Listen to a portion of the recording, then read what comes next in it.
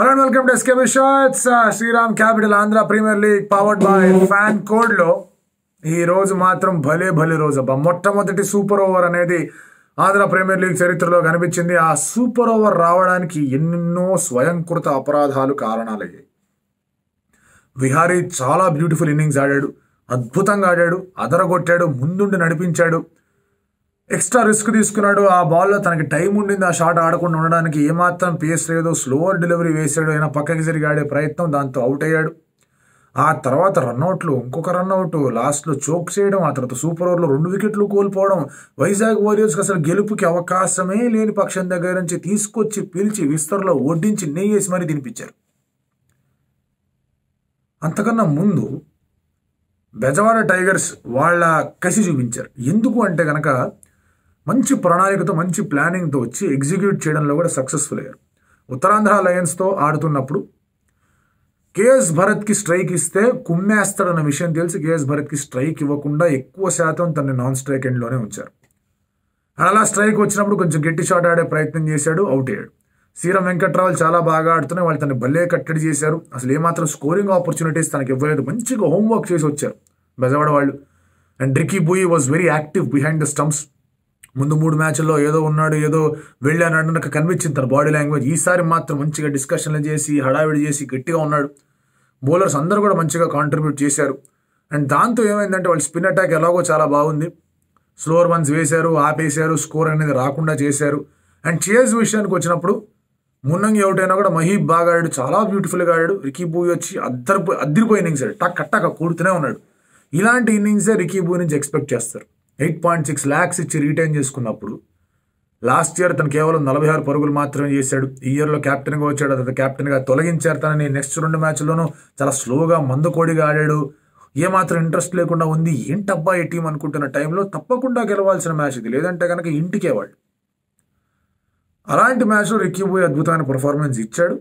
ఆ మ్యాచ్ గెలిపించాడు. Bezawada Tigers account open చేశారు. ఉత్తరాంధ్ర లయన్స్ ప్లే ఆఫ్స్కి వెళ్ళకుండా ప్లీజ్ హోల్డ్ ఆన్ అన్నారు. రాయలసీమ కింగ్స్ విషయానికి వచ్చేస్తే they are in to the playoffs వారు క్వాలిఫైర్స్ కన్ఫర్మ్ అయిపోయారు వాళ్ళు. పన్నెండు పాయింట్లు వచ్చాయి.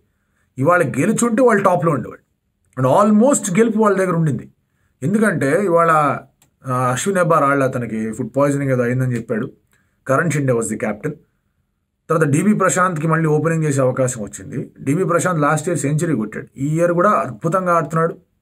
కానీ ఏదో ఈ సీజన్కి వచ్చేసరికి ఈ యొక్క ఐఏపీఎల్కి వచ్చేసరికి మాత్రం తన రెస్పాన్స్ అనేది సరైన రీతిలో లేదు. ఇవాళ మ్యాచ్లో కొట్టాడు బాగా డెబ్బై పైన కొట్టాడు.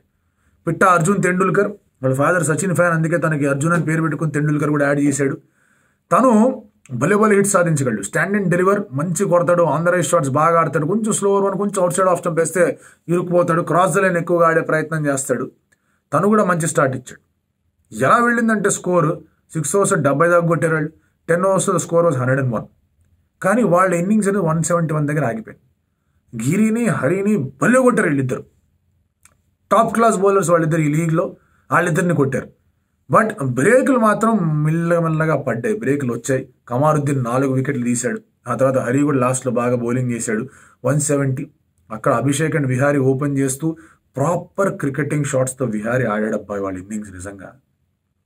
అంటే ఎంత అద్భుతంగా ఎంత అందంగా తన బ్యాటింగ్ ఉంటుందో. పక్కకి జరిగి రూమ్ తీసుకొని ఆడడం ఆ మంచి స్ట్రైడ్ ఇచ్చి కొట్టడం. పేస్ యూజ్ చేసి లేట్ కట్లు ఆడడం అవసరమైన స్లాగ్స్ రెండు సిక్స్లు కొట్టడం. అన్నీ ఉన్నాయి వాళ్ళు విహారీ ఇన్నింగ్స్ ప్యాకేజ్లో. అన్నీ కనిపించాయి. అంతకన్నా ముందు అభిషేక్ కూడా షార్ట్ బాల్స్ గట్టిగా ఆడడం అటు ఇటు కొట్టేయడం భలే భలే ఆడాడు. ఆ భలే భలే ఆడిన తర్వాత ఒక స్కూప్ షాట్ లాంటిది ఆడాడు. బౌండరీ కూడా వచ్చింది. బట్ ఆ బౌండరీ వచ్చే నేపథ్యంలో ఫీల్డర్ చేసి చేస్తున్నాడు కాబట్టి డబుల్ పెరగడదాం. ఎంత వస్తే అంత అనుకుంటున్న టైంలో లెగ్ ట్విస్ట్ అయింది. యాంకిల్ ట్విస్ట్ వెయిట్ అంతా కూడా ఆ బ్యాక్ యాంకిల్ మీద పడింది రైట్ యాంకిల్ మీద. అండ్ దాంతో తను లేచి సరిగా నుంచోలేకపోయాడు. తోటి ఆటగాళ్ళు వచ్చి తన్ని భుజం మీద పెట్టుకొని తీసుకెళ్ళారు. సో తను కొంచెం మూమెంట్ ఫ్రీగా లేదు. మూవ్ అయ్యాడు ఆ తర్వాత చూశాను నేను బట్ అంత ఫ్రీగా కనిపించలేదు. తను రిటైర్ అవుట్ అవ్వడం. అలా హనీష్ వీరారెడ్డి తొందరగా అవుట్ అయిపోవడం. తర్వాత వంశీ అండ్ విహారీ ఆడుతున్న టైంలో విహారీ వికెట్ పడడం. వంశీ ఒక క్యాచ్ డీబీ ప్రశాంత్ డ్రాప్ చేసిన ఆ తర్వాత మళ్ళీ వంశీకి ఎక్కడో కొడితే కనుక యువన్ వచ్చి సబ్స్టిట్యూట్గా వచ్చి క్యాచ్ పట్టుకున్నాడు.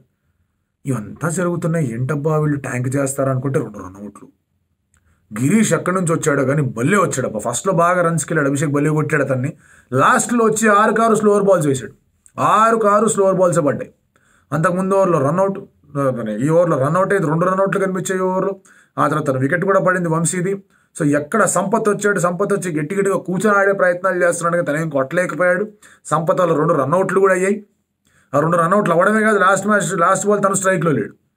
లాస్ట్ మ్యాచ్ తన స్ట్రైక్లో లేడు. ఇదేంటా అనుకుంటే వినయ్ వచ్చాడు కొట్టాడు సింగిల్ తీసుకున్నారు సూపర్ ఓవర్ సరే సూపర్ ఓవర్ వచ్చింది. ఓకే విహారీ ఫామ్లో ఉన్నాడు గిరి వస్తాడు. సరే బాగానే ఉంది. నెక్స్ట్ వంశీ వస్తాడు అనుకుంటే కానీ కమార్ వచ్చాడు. That's okay Vihari and Giri వచ్చారు బాగానే ఉందండి. మళ్ళీ గిరీష్కే ఇచ్చారు బౌలింగ్ స్లోవర్ బాల్ వేసాడు గట్టి కొట్టే ప్రయత్నం చేశాడు ఎక్కడికో బాల్ పైకి లేచింది out. Vihari gone Vihari gone ఆ తర్వాత కమరుద్దీన్ వచ్చాడు ఒక బై రూపంలో ఒక రన్ వచ్చింది. మళ్ళీ గిరినాథ్ రెడ్డి ఆడుతున్నాడు మళ్ళీ గట్టిగా షాట్ ఆడే ప్రయత్నం చేశాడు. డీబీ అద్భుతమైన క్యాచ్ పట్టుకున్నాడు గాన్ సూపర్లో రెండే వికెట్లు ఉంటాయి రెండు పోయాయి. స్కోర్ ఎంత? ఒకటి. అది కూడా బై రూపంలో వచ్చింది. వైజాగ్ వారియర్స్ వచ్చారు. కమరుద్దీన్కి ఛాన్స్ ఉండేది రన్అట్ కొట్టడానికి బ్యాకప్ పవర్ లేరు త్రో వేయలేదు ఎందుకంటే ఒకటే కావాలి కాబట్టి. ఆ తర్వాత రన్ కూడా డైరెక్ట్ ఇటు కొట్టుంటే గిరి అవుట్ అయ్యేది బట్ అవుట్ అవ్వలేదు. రీచ్ అయిపోయాడు కరణ్ షిండే అండ్ దాంతో వైజాగ్ వారియర్స్కి విక్టరీ రాయలసీమ కింగ్స్ నిజంగా ఎంత డిసప్పాయింటెడ్గా ఉంటారు వాళ్ళ టీం అందరూ కలిసి సంపత్ని సెంటర్ చేసి ఆ దుబాయ్ సీన్లో ఆ పట్నాయకిని సెంటర్ చేసి ఎలాగైతే బాధేశారో అలా బాధేసే మూడ్లో ఉంటారు. But again it's a game it happens కొన్ని కొన్నిసార్లు ఏంటంటే నేను స్ట్రైక్ తీసుకొని ఆడేద్దా ఆడేస్తాను నేను కొట్టేస్తాను నేను ఉన్నాను ఇది నా గేమ్ అనుకుంటున్న సమయంలో ఏమవుతుందంటే సమయస్ఫూర్తి దెబ్బతింటుంది. కమరుద్దీన్ రన్అట్ అవ్వాల్సిన అవసరమే లేదు అక్కడ. అండ్ కమరుద్దీన్ కూడా నో చెప్పాలి. నో చెప్పకుండా తను పెరిగెత్తాను కూడా నేను పెరిగెత్తాను వెళ్ళాడు. సో ఇవన్నీ కూడా స్వయంకృత అపరాధాలు ఒత్తిడి వల్ల వచ్చిన అపరాధాలు ఆ సర్లే అని అయిపోయి కొంచెం ఒక కేర్లెస్నెస్ నుంచి వచ్చిన కూడా అపరాధాలు అన్నీ కనిపించాయి. అంతటి మంచి విహారీ ఇన్నింగ్స్ తర్వాత ఇలాంటి సూపర్ ఓవర్లో మ్యాచ్ కోల్పోవడం ఏంటి? టూ ఓవర్స్లో థర్టీన్ కొట్టాల్సిన పరిస్థితి వన్ ఓవర్లో సిక్స్ కొట్టాల్సిన పరిస్థితి దగ్గర నుంచి సూపర్ ఓవర్లో మ్యాచ్ కోల్పోవడం ఏంటి? సునాయాసంగా అవలీలగా అలవోకగా ఆడుతున్న సమయం దగ్గర నుంచి మొత్తం అంతా కూడా కష్టాన్ని వాళ్ళు నెత్తి మీద పెట్టుకోవడం ఏంటి? ఈ ఆంధ్ర ప్రీమియర్ లీగ్లో సూపర్ ఓవర్ కనిపించింది హడావిడి కనిపించింది రెండు జట్లు కూడా ఖాతా ఓపెన్ చేస్తే ఇంకా ఎవరు టాప్ వన్ టూ కన్ఫామ్ కాలేదు. ఫీల్డింగ్ మాత్రం వేరే లెవెల్లో ఉందమ్మా రేపు ఎల్లుండి ఇంకా ఇంట్రెస్టింగ్గా ఉంటాయి లీగ్ దశల్లో. మళ్ళీ అదే రిక్వెస్ట్ ఎవరన్నా వైజాగ్ ట్వెల్వ్ ఓ క్లాక్కి ఫైవ్ ఓ క్లాక్ మ్యాచ్ ఉంది ఒకవేళ కనుక ఐదింటికల్లా మీ పనులు అయిపోతాయి స్కూళ్ళు కానీ ట్యూషన్లు కానీ జాబులు కానీ అయిపోతాయి దయచేసి వచ్చేయండి అబ్బా. వాళ్ళు మంచి క్రౌడ్ వచ్చారు నిన్న మంచి క్రౌడ్ వచ్చారు. దయచేసి వచ్చేయండి. ఎంజాయ్ చేద్దాం.